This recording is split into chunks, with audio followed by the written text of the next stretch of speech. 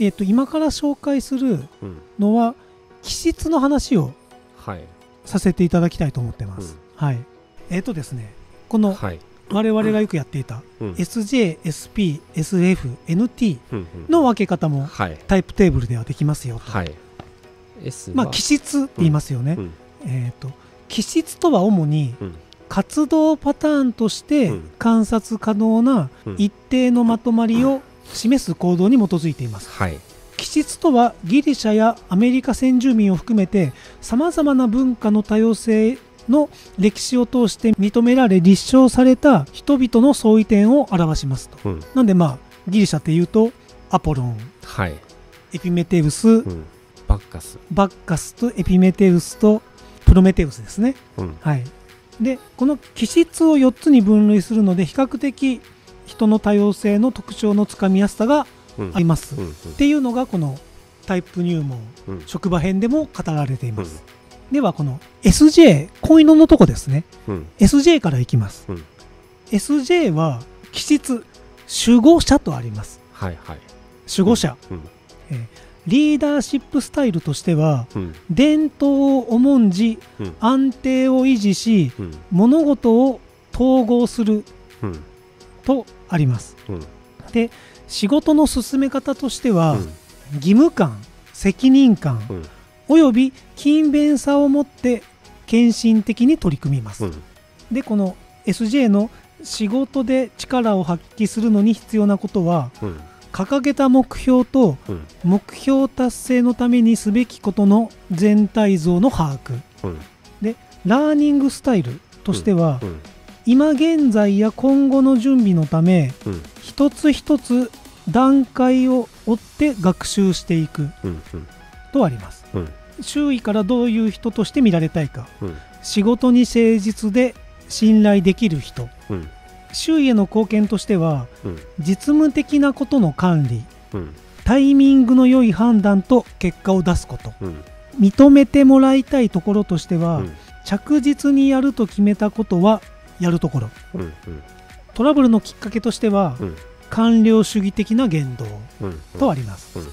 では SP このはい。赤いとこですね、うん。職人とあります。うん。リーダーシップスタイル、うん。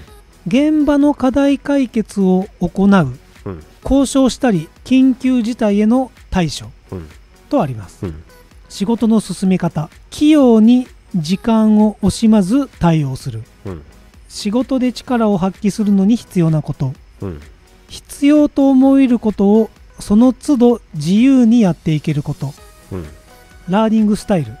今求められていることに応えるため実際の活動を通して学習していく。うん。周囲からどういう人として見られたいか。うん。臨機応変でリスクを冒せる人。うん。冒せるっていうのは冒険の冒と書いてあります、はい周囲への貢献。うん。不規則なことや予期せぬ事態への迅速な対処。うん。認めてもらいたいところ。うん。遊び心を持ってのびのびしているところ。うん。トラブルのきっかけ。ご都合主義的な言動。とあります。はい。では NF、うん。えー理想化、うんうんまあ、アポロンでも理想主義って言われてましたよね、うんはい。リーダーシップスタイル。人と人との媒介をしうん人を説得したり励ましたりする。うん。仕事の進め方、うん。価値を置くべきことやひらめいたことを他者に伝える。うん。仕事で力を発揮するのに必要なこと。うん。個人的な意味合いとそれらの一致の実感。ラーニングスタイル。自分と向き合いながら体験やイメージを深めるプロセスを通して学習していく。うん。周囲からどういう人として見られたいか嘘がなく分け隔てなく人を受け入れる人。周囲への貢献。独自の視点。可能性やビジョンを描くこと。うん。認めてもらいたいところ。他者の力を引き出し成長を支援するところ。うん。トラブルのきっかけ。理想主義的な言動。うん。ではこのまま引き続き、はい。NT、うん。論理化とあります、うん。リーダーシップスタイル。ビジョンを持ちシステムの設計や構築をする。仕事の進め方。考え方や対応方法に対して創意工夫や論理をもたらす。うん。仕事で力を発揮するのに必要なこと。自分の考えを検証できる奥深い複雑なモデル。うん。ラーニングスタイル。技能や専門性の向上のため客観的で分析的なプロセスを通して学習していく周囲からどういう人として見られたいか。有能で論理的な人。周囲への貢献。うん。複雑な問題の戦略的分析。認めてもらいたいところ。専門性の高さ。トラブルのきっかけ。競争主義的な言動。うん。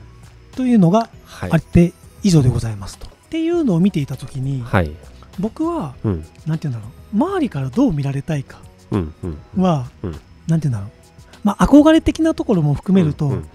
臨機応変でリスクを冒せるはい。SP なんですね。はいはいはい。バッカス。うん。うん。男っぽいじゃないですか。うん。その誠実で信頼できる人ではないのでなんかそのその辺はなんかまあ理想と現実は違うのかもとは思うんですけど、うんうんうん。そここのはちょっと迷うとこですね迷うとこですよね、はい。そのなんか性格って要はアドラー的に言えば自分が掴みにいってる部分が性格だはいじゃないですか、はい。なんかこう本当にこうリスクを冒してっていうのに本当に自分が思ってればリスクを冒してるって話じゃないですか。はい。だけどこう誠実でっていうところを掴んでるとすると、はい。表面的にはそうやって思ってても、はい。なんかまあ自分は本当はそっちをそっちがいいって思ってる、あとなんてうん言うんだろう。人から見られた時にうん。どうなんだろうと思ったんですね。うんうん、僕ってうん。誠実？せあ誠実って僕のこと好きみたいいな言い方でちょっと かっこ悪いんですけどうん。誠実っぽいのかうん。あのなんて言うんでしょう。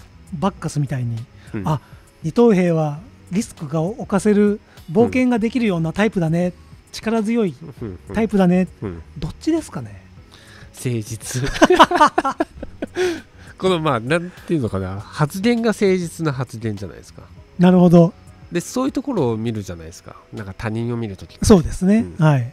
だとこれは周囲からどういう人として見られたいかうん。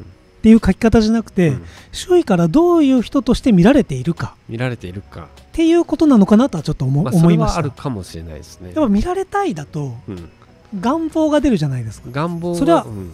有能で論理的な人に見られたい。それは見られたいですよね、はい。うん。けどうん僕って明らかに違うじゃないですか。有能で論理的じゃないですもん。言ってること尻滅裂だまあ、し、言ってるまあ多分その他人は言ってることを見るじゃないですか、はい、っっていうとこですよね、はい。うん。ていうのはちょっと思ったりしました、でもはい。アドラー的に言えばそういうアピールを自分でしてるって話じゃないですか。